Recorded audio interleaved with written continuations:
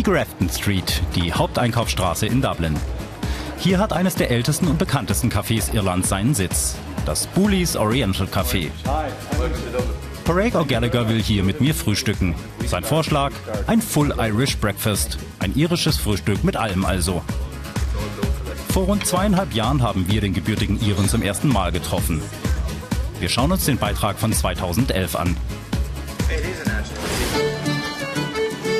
Damals besuchten wir Parag O'Gallagher in seinem Restaurant Gallagher's Boxty House.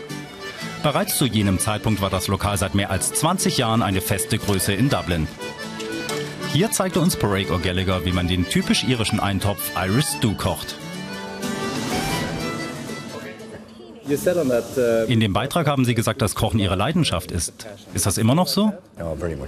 Absolut. So war es schon immer und so wird es immer bleiben.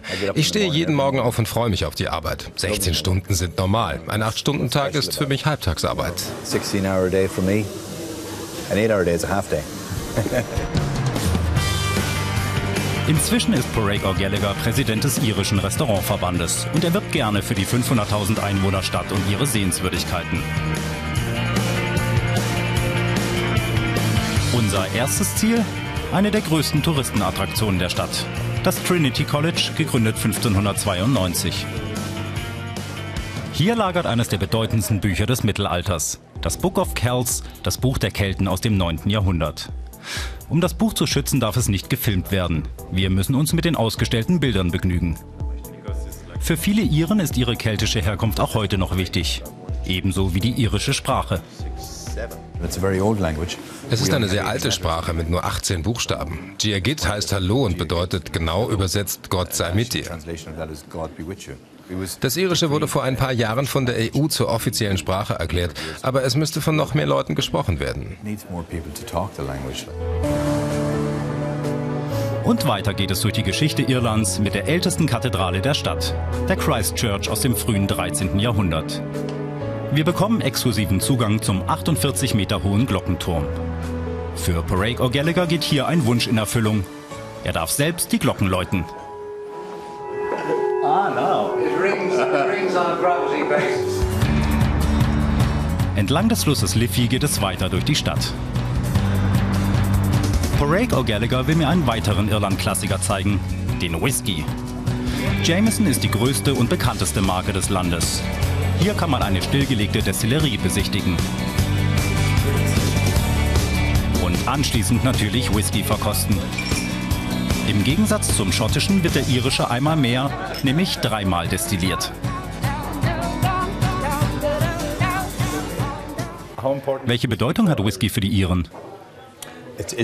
Wir nennen es Ishgabaha, das Wasser des Lebens. Ja, das ist auf den Punkt gebracht. Und da es sich auf leeren Magen schlecht trinkt, schaffen wir uns erst einmal eine Grundlage. Natürlich in Parag O'Gallaghers Restaurant, dem Boxty House. Gelegen mitten im Ausgehviertel Temple Bar ist es mit seiner irischen Küche ein Touristenmagnet. Doch die Wirtschaftskrise hat auch hier ihre Spuren hinterlassen. Die letzten fünf Jahre waren katastrophal für das ganze Land. Mein Umsatz hat sich um 60 Prozent verringert. Abends ist es hier voll, aber man muss auch den Rest des Tages füllen. Das einzig Gute ist, dass wir dieses Jahr sehr viele Touristen hier in Temple Bar haben.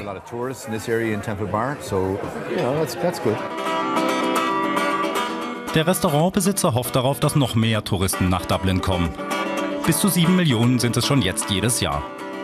Und das ist hier überall zu spüren. Am Abend wird Temple Bar zur Vergnügungsmeile. Für Parag O'Gallagher ist Dublin die lebenswerteste Stadt Irlands. Was lieben Sie am meisten hier? Die Menschen, die sind wunderbar. Ich stamme ursprünglich aus dem Nordwesten des Landes, aber hier in Dublin kümmert es keinen, woher du kommst. Die Leute sind offen, die Atmosphäre ist gut, die Bars sind toll.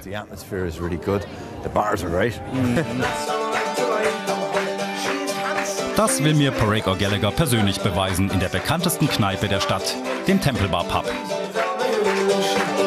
So lassen wir den Tag ausklingen, wie es sich für einen echten Dublin-Besuch gehört. Mit Guinness Bier und irischer Live-Musik. Ah,